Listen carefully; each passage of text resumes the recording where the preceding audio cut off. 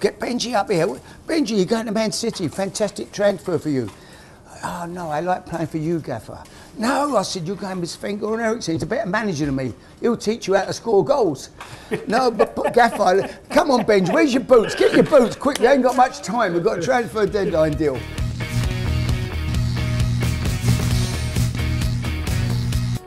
Right, another super dish for football talking. This is my play. I'm kind of like chip nachos.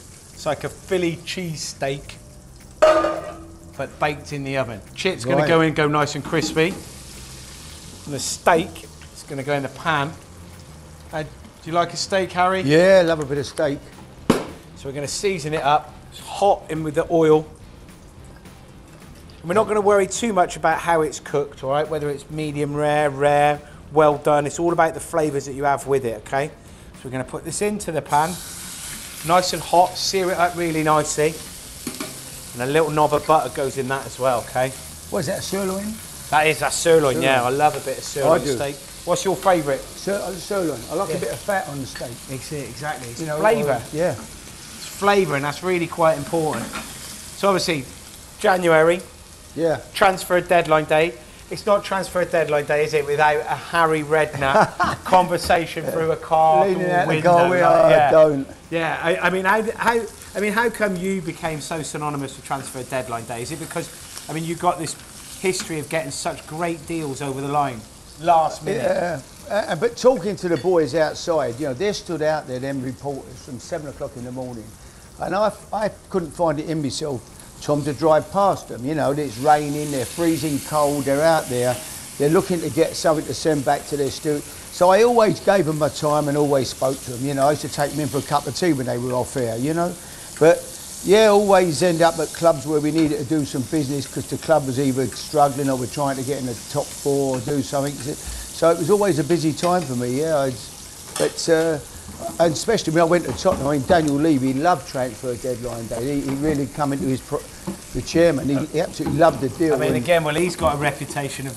being one of the hard, running the hardest deals. Oh, absolutely. I mean, doesn't he? yeah, yeah. I mean, you know, you, he'd do he'd do a deal. I, I went there when I was at Portsmouth and did a, we did a deal with Daniel, um, and he he done he done us a buy two get one free deal. Oh, You know, really? that was one of his deals. Yeah, Who, I were- mean, who he were loved the it. two that you bought? Well, we took Pedro Mendes and Sean Davis from Tottenham, and uh, we let, he let us have Noe through Noe Pamarot into the deal. So I took three players. That they he just wanted to get rid of him? Probably, you know, he wanted to unload the three lads. They came in and they did amazing for me. We were bottom of the league at the time when I went back there. I just joined the club back again from Southampton. And then three were major players and we stayed up, went on an incredible run um, and just managed to survive. And that was, that was lucky. That was down to transfer deadline day. Good deals kept us up. And then, what's one of your best transfer deadline day stories? Probably, um, it, probably selling one more than signing one. It was when I sold Benjani to Man City. Yeah. You know, I was in the office and uh, I'm trying to get the money to buy Jermaine Defoe, but we haven't got the money. And uh, suddenly the phone goes. Uh, my secretary comes in. Harry, I've got Sven Goran Eriksson on the phone from Man City, Man City manager. Really? Oh, right, okay. Hello, Sven, how are you? I'm good, Harry, he said. You have some good players at Tottenham. At, uh, sorry, at Portsmouth. Yeah, I said, we've got some good players at Portsmouth, Sven, yeah. Uh, he said, uh, I like one player in particular. Yeah, yeah, which one's that? Benjani. Oh, yes, Sven. Right now, Benjani's had a nightmare, really. I bought him and he hadn't really come off. He'd scored, he hadn't scored about a year or so. So, what was it about him? He played well against Man? City. When we played Man City that year, he scored Benji. Yeah. And, and uh, Sven obviously thought he was fantastic. He loved him. And I loved Benji. He was a great lad. So he said, uh, I like Benjani. So I, I said, Sven, you can pick him. You know a player when you see one. So he said, So you uh, buttered him up. Yeah, yeah, uh, yeah. That's an extra Uh, million. would you sell him? Uh, I said, "Ah, if I sell him, I'll get the fans will they'll lynch me. I said, he's my he's the favourite player. He said, well, you you picked my best player. Aye. Would you take eight million? Now, I'll be truthful, I would have took two at the time, you know?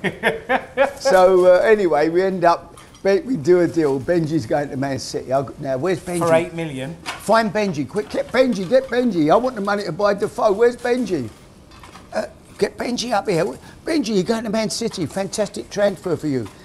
Oh, no, I like playing for you, Gaffer. No, I said, you're going with Sven Goran Eriksson. He's a better manager than me. He'll teach you how to score goals.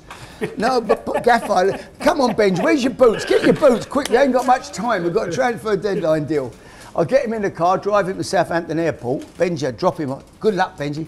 Gaffer, I, I don't. You'll get double your money. Come on, it's a great move for you. I'll leave him. Two hours later, I get a, my secretary comes in. Harry, Benji's not arrived on the plane in Manchester. You're kidding me. I put him on the plane Southampton. You actually drove I him drove there? him to the airport.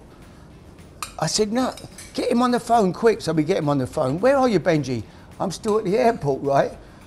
Stay there, I'm coming. So I get in my car. But what happened? What's happened, Benji? What's happened?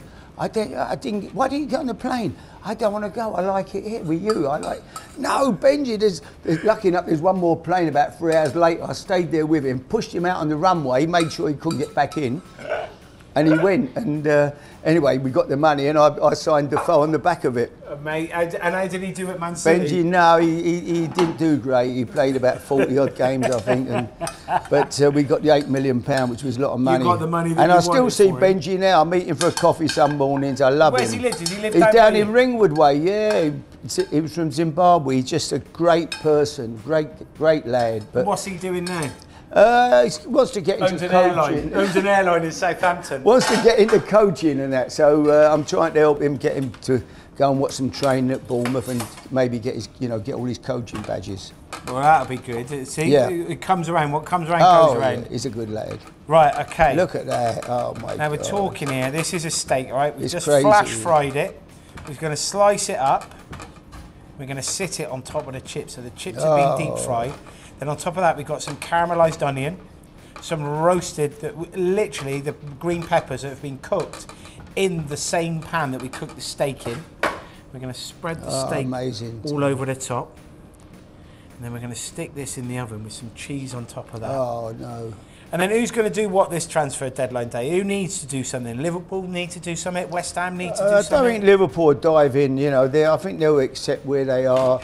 I think they're going to look to win the Champions League if they can. Yeah. You know? I think the, the league. They'll probably look at the league and think, well, you know, they'll probably put most of their eggs in one basket now. They'll want a top four finish. Um, but I don't, I don't see them sort of diving in on the transfer market. And there's talk with the owners looking to sell, Yeah. so they're not going to want to spend too much, you know. no, because they want to keep the value of the uh, club. maybe Arsenal might go and get another player in or Do you think? Yeah, they might see a chance now going all the way this year and winning the title. They're not going to want to let that slip. So if, if I, and what about West Ham? um, yeah, I mean David, they've, they've, I think they've backed David quite well in the summer. They bought, they've spent some big money on players this year, West Ham. Uh, but they'll settle. They've, Moyes has done a great job there, and I think they'll settle down and uh, they'll start to climb the table.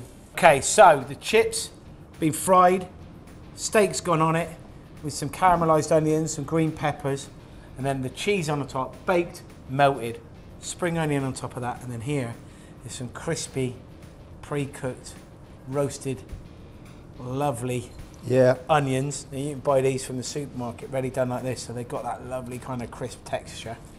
And that again, is a little bit of a play on nachos, except this time it's chips and steak. Oh, lovely. Get in there, my friend.